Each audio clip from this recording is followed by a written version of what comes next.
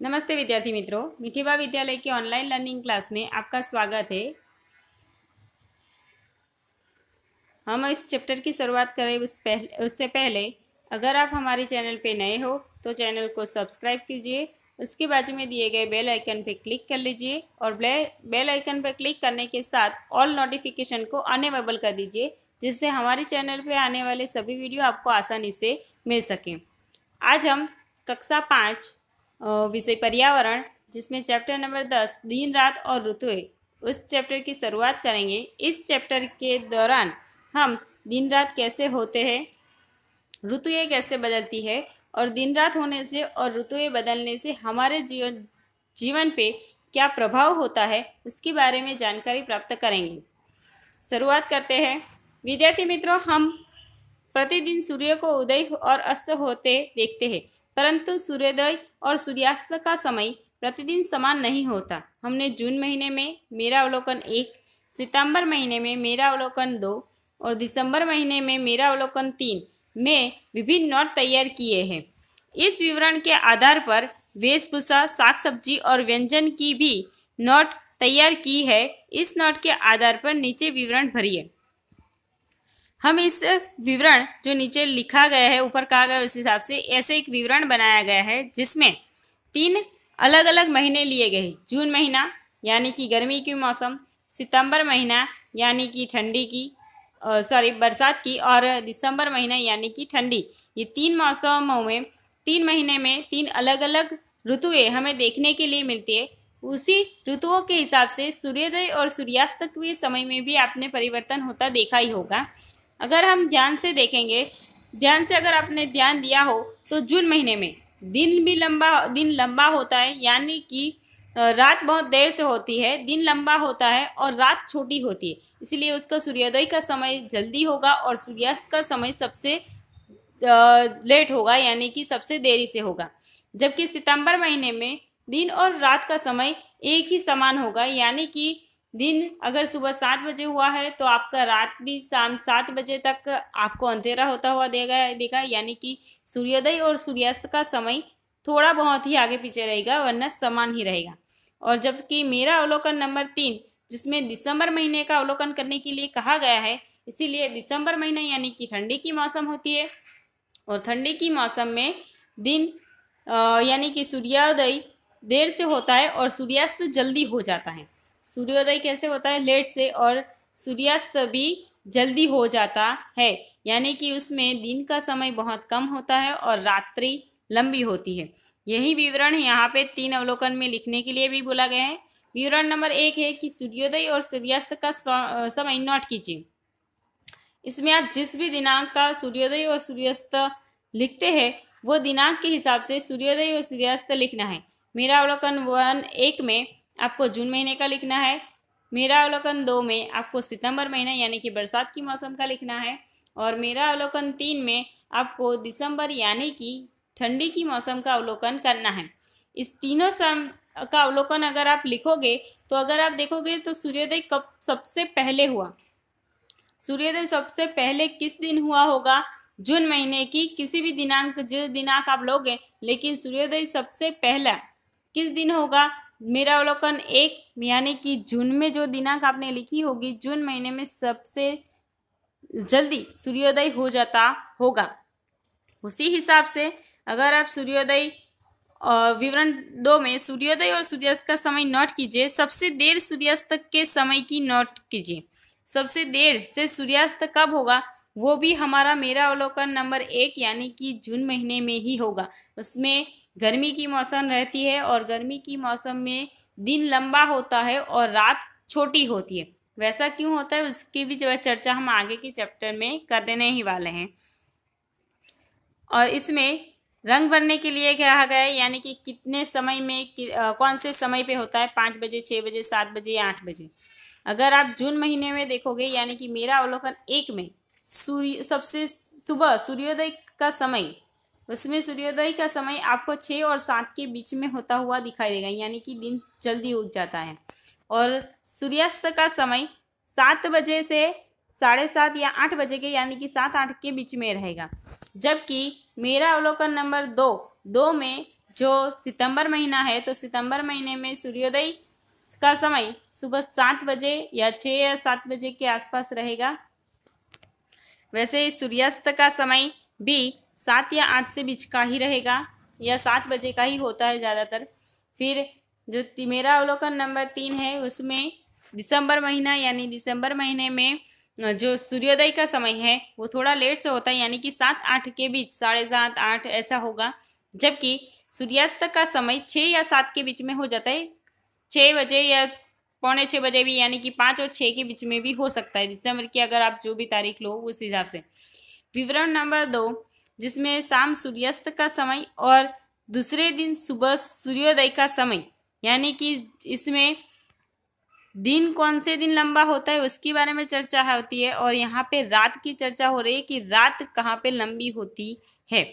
यानी कि अगर अवलोकन एक के हिसाब से यानी कि जून महीने में अगर आप देखोगे तो सूर्यास्त का समय सात बजे या आठ बजे होगा और जबकि दूसरे दिन सुबह सूर्योदय का समय पाँच या छः या पाँच, छः के बीच में ही रहता है, छः या सात के बीच में रहेगा।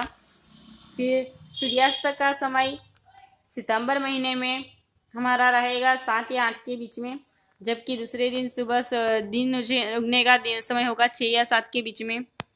और तीसरा जो दिसंबर महीना है, उसमें सूर्यास्त का समय रहेगा पाँच या छः के बीच में। रात का समय यानी कि और दूसरे दिन सुबह सूर्योदय का समय हमारा रहेगा सात या आठ के बीच में, यानी कि रात लंबी होगी। आगे हम देखते हैं। विद्यार्थी मित्रों सूर्य की तरह हम चंद्रमा के प्रतिदिन नहीं प्रतिदिन नहीं देख सकते। चंद्रमा कभी छोटा, बड़ा या अदृश्य हो जाता है। पहले मेरा अवलोकन एक, दो और तीन के आधार पर कृष्ण पक्ष में चंद्रोदय का समय नोट किया गया और इस नोट के आधार पर नीचे विवरण के नोट तैयार कीजिए। यानी कि इसमें चंद्रोदय, यानी कि चंद्र का उगने का समय और चंद्र का चंद्र के रहने का समय, वो हमें लिखना है। यानी कि चंद्रोदय का समय, हर एक समय पे अलग अलग होता है हर एक दिन अगर आप देखोगे तो चंद्र का उगने का समय भी अलग होगा और उसको दिखाई देने का भी अलग रूप हुआ। इसमें जो कृष्ण पक्ष बोला गया है, उस कृष्ण पक्ष के आधार पे तो चंद्र धीरे धीरे कम ही होता जाता है और लास्ट यानी कि अमावस्या के दिन चंद्र दिखता ही नहीं है, यानी कि पूरा अंधेरा होता है। उसी आधार पे सारणी बनानी है। अब उसको छोड़ के हम आगे बढ़ते हैं तो जब दिन बड़ा होता है, तब हम कैसे कपड़े पहनते हैं और क्यों? जब दिन बड़ा होता है, यानी कि जब दिन की किन महीनों में ज़्यादा लंबा होता है तो के अप्रैल, मई, जून, ऐसे महीनों में हमारा दिन लंबा होता है और उस समय होती है गर्मी। गर्मी के समय में हम कैसे कपड़े पहनना पसंद करेंगे? सूती कपड़े, कॉटन कपड़े। जब कॉटन बोलते हो, वहीं सूते कपड़े पहनना पसंद करते हो। और क्यों? क्योंकि उस समय पे गर्मी होती है, जो कॉटन कपड़ों में थोड़ी कम लगे, इसलिए हम कॉटन जैसे कपड़े पहनना पसंद करते हैं। दूसरा सवाल है, जब दिन बड़ा होता है, तब हम कैसे कपड़े नहीं पहनते हैं। जब दिन बड़ा होता है, तब हम, मोटे कपड़े यानी कि झाड़े कपड़े हो या फिर जो हम स्वेटर है, मफलर है, ऐसे कपड़े नहीं पहनना पसंद करते क्यों? क्योंकि उसमें गर्मी लगती है।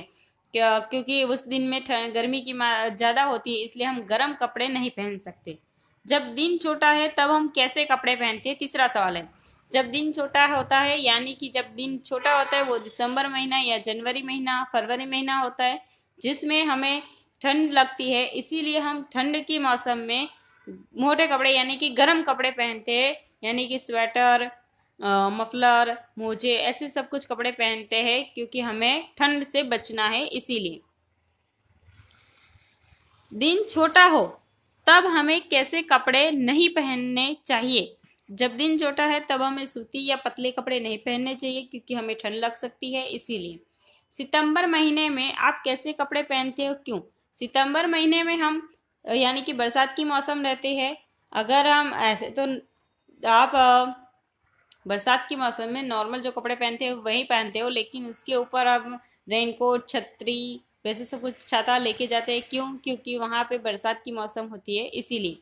या उसमें हम ज़्यादा पतले भी कपड़े नहीं पहनेंगे, यानी कि सूती कपड़े भी नहीं पहनेंगे, जो पतले हो हमारे उसके लिए, और दूसरे हम ज़्यादा मोटे भी कपड़े नहीं पहनेंगे ताकि गर्मी लगे।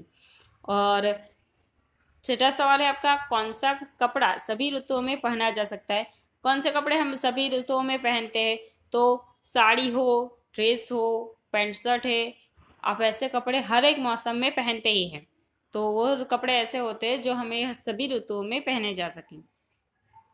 अब नीचे सारणी दी गई है। सारणी में लिखी गई साग सब्ज़ी का नाम लिखिए।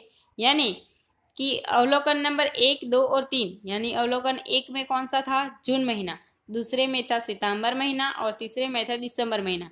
इसमें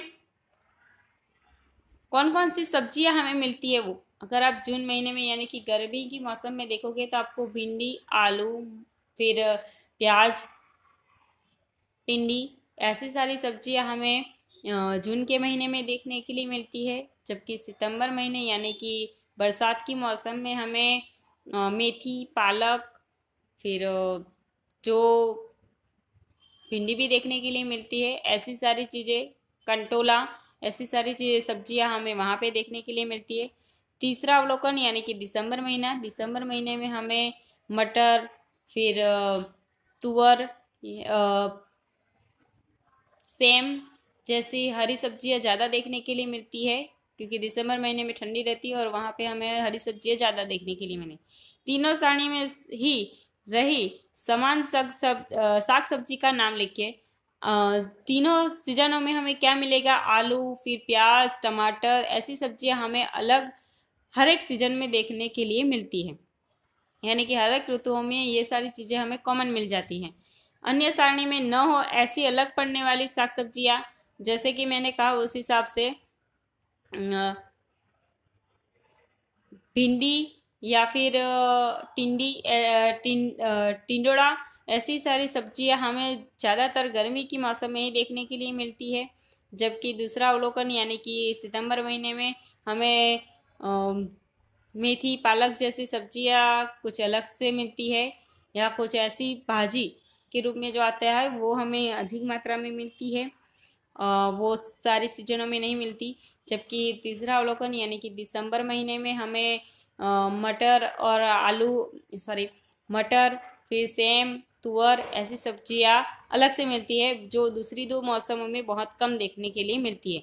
और अब जो सारी ऋतुओं में सारी सब्ज़ियाँ मिलती है, अगर आप बोलोगे कि सारी सब्ज़ियाँ हर एक मौसम में मिलती है तो देखा होगा आपने कि भाव में ऊपर नीचे होगा, यानी कि अगर आप खरीदने जाओगे तो कुछ महँगी मिलेगी। और ऐसा क्यों होता है कि वो चीज़ें हर एक सीज़न में मिल रही है? उसके कारण है कि कोल्ड स्टोरेज, यानी कि वैज्ञानिक ढंग से उसको बनाने का रत अब खेती में भी इतना डेवलप हो चुका है हमारे देश में कि हमारे हर एक मौसम में हर एक चीज़ उगाई जा सके, जिसके कारण हमें हर एक समय यानी कि हर एक ऋतु में आपको हर एक चीज़ खाने के लिए मिलती है। लेकिन वो कम मात्रा में मार्केट में आती होगी या आपको मिलेगी भी कम मात्रा में और उसके भाव भी अधिक होंगे।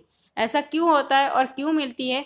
उसके बारे में देखो लिखा है कि आज के आधुनिक युग में कोल्ड स्टोरेज वैज्ञानिक ढंग से खेती और संशोधित बीज की नई जातियों के उपयोग के कारण अधिकांश सब्ज़ियाँ बारह महीने मिलने लगी है। जिसके कारण ठंडी, गर्मी और वर्षा ऋतु के आधार पर सब्जियों की पहचान बताना संभव ही नहीं है। पहले के समय में ऐसा होता था कि जो गर्मी की मौसम में, यानी कि जो ठंडी की मौसम में मिल रही है, वो सब्ज़ियाँ उस ऋतु में ही मिलेगी, उसके अलावा नहीं मिलेगी।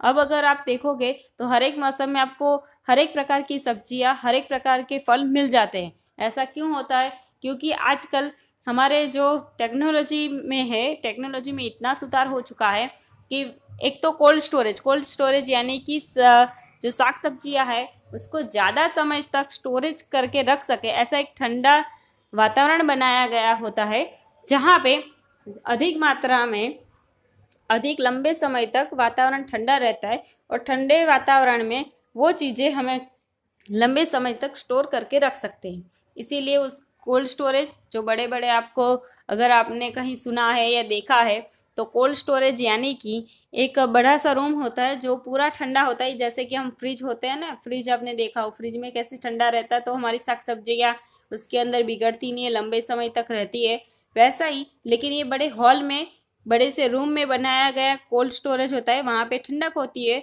और इतनी अधिक मात्रा में ठंडक होती है कि साग सब्ज़ियाँ बगड़े नहीं, यानी कि फल, फ्रूट जो है वो बिगड़ते नहीं है और लंबे समय तक उसको स्टोर करके हम रख सकते हैं। वो होता है कोल्ड स्टोरेज। वैज्ञानिक ढंग से खेती और संशोधित बीज, यानी कि वैज्ञानिक ढंग से जो बीज बने हैं, जो नए दो बीजों को मिलाकर एक नया बीज उत्पन्न करना, ऐसे भी बीज का संशोधीकरण हुआ है, संशोधीकरण हुआ है, जिसके कारण बीज की इतनी उत्पत्ति होती है, जो ज़मीन में, यानी कि जो भी ज़मीन में आप डालोगे, लेकिन वो, एक तो अधिक मात्रा में उगा के देगा आपको, और उसको किसी भी ऋतु के वातावरण के हिसाब से वो नहीं, लेकिन वो बीज की में ही इतनी क्षमता होती है कि वो उस चीज़ को उगा सके। इसीलिए हमें अब हर एक सब्ज़ियाँ और हर एक फ्रूट, यानी कि हर एक फल हमें हर एक सीज़न में खाने के लिए मिलता है। इसीलिए अब ये नक्की करना कि कौन सी ऋतु में कौन सा फल या कौन सी सब्ज़ी मिलेगी, वो बहुत ही मुश्किल हो चुका है। ठंडी के मौसम के बारे में जानेंगे, यानी कि ठंडी के मौसम में हमें क्या क्या देखने के लिए मिलता है वो। ज़्यादातर हम देखते हैं कि हमारे देश में तीन प्रकार की ऋतुएँ हमें देखने के लिए मिलती हैं, ठंडी, गर्मी और वर्षा। ठंडी की ऋतु में हम क्या परिवर्तन होता हुआ दिखते हैं और कैसे होती है क्या क्या नहीं होता हुआ दिखते हैं वो भी जानते हैं। तो ठंडी की ऋतु में, ठंडी की ऋतु की शुरुआत पहले तो कहाँ से होती है? नवंबर महीने से। नवंबर, दिसंबर जनवरी और फरवरी। ये चार महीने हमारे देश में ठंडी की मौसम रहती है। ठंडी की मौसम में हम स्वेटर, मफलर, मोजे, दस्ताने जैसी गर्म चीज़ें पहनना पसंद करते हैं। और इसके क्यों गर्म कपड़े पहनते हैं? क्योंकि इस समय ठंडी की मौसम रहती है, ठंड ज़्यादा पड़ती है। उसके साथ साथ हम, जैसे चित्र में बताया गया, उस हिसाब से धूप में बैठना पसंद करते हैं। फिर धुनी यानी कि ये जो लकड़ियाँ जलाकर उसका ताप लेते हैं, ये सब कुछ करते हैं क्योंकि हमें ठंडे से बचना होता है। और ठंडी की ऋतुओं में ज़्यादातर हम चाय, कॉफ़ी जैसे गर्म पीने पीना पसंद करते हैं। उसके साथ साथ ठंडी के मौसम में ज़्यादातर लोग बाहर सुबह सुबह में मॉर्निंग वॉक के लिए निकलते हैं या एक्सरसाइज करना पसंद करते हैं, जिसके कारण हमारे शरीर में स्फूर्ति बनी रहे और थोड़ी सी गर्मी भी बनी रहे। ये होता है हमारे ठंडी के मौसम में। अब नीचे वाले चित्र में हम गर्मी के मौसम देख चित्र है। गर्मी की मौसम की शुरुआत कहाँ से होते है? तो कि मार्च, अप्रैल, मई और जून, ये चार महीने हमारे देश में गर्मी रहती है। गर्मी के कारण हम क्या करते हैं? ज़्यादातर ठंडी चीज़ें पहन पीना पसंद करते हैं। जैसे कि ठंडी चीज़ें खाना और पीना, आइसक्रीम खाना हो, ठंडी कोल्ड ड्रिंक्स पीनी हो, बर्फ़ का गोला खाना हो, ये सब कुछ हमें गर्मी के मौसम में अच्छा लगता है। गर्मी के मौसम में हम ठंडे ठंडे पानी से नहाना फिर ज़्यादातर लोग सूती कपड़े पहनना पसंद करते हैं, जिसके कारण हमें गर्म थोड़ी कम लगे। और ज़्यादातर लोग क्या करते हैं, दोपहर के समय घर में बैठकर पंखे या एसी में ही बैठना पसंद करते हैं। ज़्यादातर बाहर दिन के दौरान घूमना पसंद नहीं करते हैं।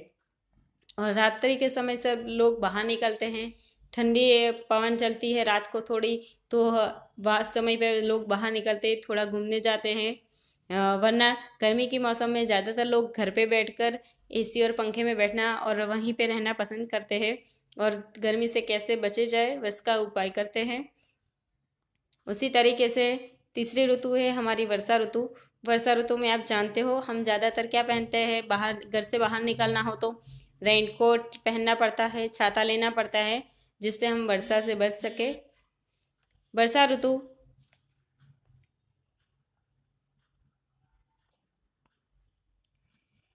वर्षा ऋतु की शुरुआत कहाँ से होती है? तो वर्षा ऋतु की शुरुआत जुलाई, अगस्त, सितंबर और अक्टूबर। ये चार महीने में हमें वर्षा के अनुभव होता है, यानी कि वर्षा ऋतु रहती है।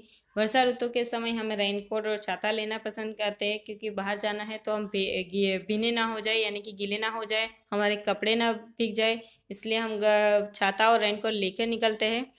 और वर्षा ऋतु में छोटे छोटे जो बच्चे होते हैं, वो क्या करते हैं? पानी के, पानी में कागज़ की नाव बनाकर बहाना पसंद करते हैं। फिर पानी का जो गड्ढा बड़ा रहता है, यानी कि जो पानी में बरसात का पानी होता है, जो अगर गड्ढे में पड़ा हो तो आप चप करना ज़्यादा पसंद करते हो। उसके साथ साथ हम बरसात के मौसम में भीगना पसंद करते हैं, लेकिन अगर हम ज़्यादा भीगेंगे तो हमें क्या हो सकता है? बुखार हो सकता है या ज़ुकाम या खांसी हो सकती है। इसलिए हम ध्यान देते हैं।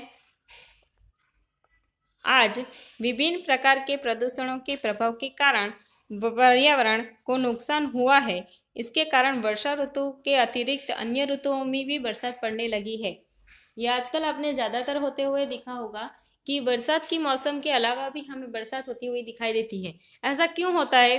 क्योंकि हमने वातावरण को इतना प्रदूषित कर दिया, यानी पर्यावरण इतना प्रदूषित हो चुका है कि उसके कारण किसी भी ऋतु में बरसात हो जाती है। और प्रदूषित होता कैसे है वातावरण? तो ज़्यादातर हम देखते हैं कि वाहनों के धुएँ, वाहनों का धुआँ हो, फिर बड़ी बड़ी कंपनियाँ जो डाली गई है तो कंपनियों में से जो धुएँ के रूप में जो वेस्ट बाहर निकलता है तो वो उससे क्या होता है? हमारा आसपास का पर्यावरण प्रदूषित होता है और उसी पर्यावरण को प्रदूषित होने के कारण किसी भी ऋतुओं में बरसात हो सकती है। आगे है कि 21 जून को वर्ष का सबसे बड़ा दिन और सबसे छोटी रात होती है। हम जानते हैं कि हमारी अलग अलग ऋतुओं में दिन रात अलग अलग होते हैं, लेकिन ऐसा होता है, उसमें भी कुछ तारीखें दी गई है, जैसे कि 21 जून। 21 जून हमारे वर्ष का, यानी कि पूरे साल का सबसे बड़ा दिन होता है और रात सबसे छोटी होती है। उसी तरह से 22 दिसंबर को दिन छोटा होता है, यानी कि विश्व का सॉरी वर्ष का, पूरे साल का। 22 दिसंबर एक ऐसा दिन है जब दिन बहुत ही छोटा होता है और रात बड़ी होती है। उसी तरीके से 20 मार्च और 23 सितंबर दोनों ऐसी तारीखें हैं जब दिन और रात एक समान होते हैं। आगे तीन सवाल दिए गए हैं। जैसे कि निश्चित समय अंतराल में, रो, में रोगों का अनुपात बढ़ जाता है। निश्चित समय अंतराल यानी कि वह समय होता है ज़्यादातर बरसात का। बरसात के समय में लोगों का बीमार होना ज़्यादा हो जाता है। ऐसा क्यों होता है? क्योंकि बरसात के मौसमों में हम देखते हैं कि हमारे आसपास यानी कि सड़क के आसपास हो, हमारे घर के आसपास हो, वहाँ पे गड्ढे होते हैं और गड्ढों में बरसात के कारण वहाँ पे पानी भर जाता है। वह पानी का निकाल न होने के कारण वहाँ पे मच्छर होते हैं और मच्छर के अन, मच्छर के उपद्रव को बढ़ने से हम रोक नहीं सकते। और अगर हम समय पे उसको ना रोके तो मच्छर के उपद्रव के बढ़ने के कारण हमें डेंगू मलेरिया ऐसे बुखार हो जाते हैं। उसके साथ साथ जुखाम खांसी ऐसा होता है। और उसके साथ साथ बरसात के मौसम में हमारे नदी नालों में बरसात का भी पानी मिल जाता है। और वही बरसात का पानी, यानी कि नदी नालों का पानी हमारे घर में, नल में पानी पीने के रूप में भी आता है। इसके कारण वो पानी दूषित होने के भी कारण, और दूषित पानी होता क्यों है? बरसात का पानी ऐसे शुद्ध होता है, लेकिन वो दूषित क्यों होता है? क्योंकि जब बरसात होती है तो उसके ऊपर से नीचे आने तक वातावरण में रही हवा, और वातावरण में रही हवा के अंदर का रहा प्रदूषण, वो उसको प्रदूषित कर देता है। जैसे वो ज़मीन तक पहुँचती है तो वो पूरा पानी प्रदूषित होकर ही ज़मीन पर आता है और वही पानी हमारे नदी नालों में जाएगा, नदियों में जाएगा और नदी का ही पानी हम पीने में उपयोग करेंगे। इस तरीके से बरसात का पानी जब नदियों में बह, जाता है और नदियाँ प्रदूषित हो जाती है और नदियों के प्रदूषित होने के कारण जो पानी हमें मिलता है पीने के लिए, वो पानी के कारण भी आधे रोग होते जैसे कि पानी से हमारे दस्त हो जाना, उल्टियाँ होना पेट खराब हो जाना ये सारी चीज़ें हमें कब होती है? जब पानी खराब होगा तब। और पानी खराब कहाँ से हुआ? बरसात के मौसम में जो पानी हमारे नदियों में आया वहाँ से। और बरसात का पानी गंदा कहाँ से हुआ? वहीं प्रदूषण के कारण। तो इसीलिए बरसात के मौसम में बीमारियाँ जैसे कि बुखार हो आ, मलेरिया डेंगू ऐसा बुखार जो मच्छर से उपद्रव होते उसके साथ साथ पानी जन्य रोग यानी कि पानी से होने वाले पानी के कारण होने वाले रोगों का भी बढ़ जाता है। इसलिए हम कह सकते हैं कि बरसात की ऋतुओं में रोगों का अनुपात बढ़ जाता है। अलग अलग ऋतुओं में खेले जाने वाले खेलों के नाम की सूची बनाइए। यानी कि अलग अलग ऋतुओं में हम अलग अलग खेल खेलना पसंद करते हैं। जैसे कि ठंडी की ऋतु हो तो दौड़, सौ मीटर दौड़, दो सौ मीटर दौड़, खो खो, कबड्डी जैसे खेल खेलना, क्रिकेट खेलना जैसे हम पसंद करते हैं। गर्मी के मौसम में हम संगीत, कुर्सी, लंगड़ी, फिर संता कुकड़ी यानी कि छुपन छुपाई ऐसा खेल खेलना हम पसंद करेंगे। उसी तरह से अगर बरसात की मौसम है यानी कि वर्षा ऋतु में हम घर पे बैठकर खेलना पड़ेगा क्योंकि बाहर बारिश हो रही होती है। तो यानी कि बरसात की ऋतु में हम कैरम चेस सांप सीढ़ी ऐसे खेल आ, खेलना पसंद करते हैं। तीसरा सवाल है दिन रात के छोटे बड़े होने के कारण। दिन रात छोटे बड़े के होने के कारण हमारी पृथ्वी है। और पृथ्वी कैसे है? तो कि हमारी पृथ्वी अपनी दूरी पे चारों ओर घूमती है, जिसके कारण दिन रात होते हैं। और हमारी पृथ्वी अपनी दूरी पे घूमने के साथ साथ सूर्य के आसपास भी घूमती है। जब सूर्य के सामने पृथ्वी का झुका हुआ भाग यानी अपनी दूरी पे जो झुकती है, वो वाला भाग हमारी पृथ्वी सूर्य के सामने होता है पृथ्वी का, तब दिन लंबा होता है और रात छोटी होती है। उसी तरह से, तरीके से यानी कि दिन लंबा होना और रात छोटी होना उसका कारण, उसका अर्थ ये है कि गर्मी की मौसम होना। और उसी के साथ अगर पृथ्वी का जो भाग सूर्य के सामने झुका हुआ नहीं है, यानी कि वो अपनी दूरी पे जिस तरफ़ झुकी है, वो भाग सूर्य के सामने नहीं है तो दिन दिन छोटा और रात लंबी होती है, यानी कि ठंडी की मौसम उस समय के दौरान रहती है। इस तरह से हम कह सकते हैं कि पृथ्वी का गति करना, यानी कि पृथ्वी का घूमना और पृथ्वी का अपनी दूरी पे घूमना, इन दोनों कारणों की वजह से दिन रात छोटे या बड़े होते हैं, यानी कि ऋतुओं का परिवर्तन भी और दिन रात छोटे बड़े होने का कारण भी हमारी पृथ्वी का अपने गति के आधार पे घूमने का ही कारण है। यानी कि पृथ्वी अपनी गति पे, गति के हिसाब से जिस तरह से सूर्य के आसपास घूमेगी, उस हिसाब से हमारे दिन रात छोटे बड़े, यानी कि हमारी ऋतुओं में भी परिवर्तन हमें होता हुआ दिखाई देता है। इसी के साथ यहाँ पे हमारा चैप्टर नंबर दस समाप्त होता है। अब हम आगे के वीडियो में चैप्टर नंबर ग्यारह के बारे में जानकारी प्राप्त करेंगे। तब तक इस वीडियो को शेयर ज़रूर करिए लाइक और शेयर ज़रूर करना और इस चैनल को सब्सक्राइब ज़रूर करें, जिससे हमारे चैनल पर आने वाले सभी वीडियो आपको आसानी से मिल सकें। Thank you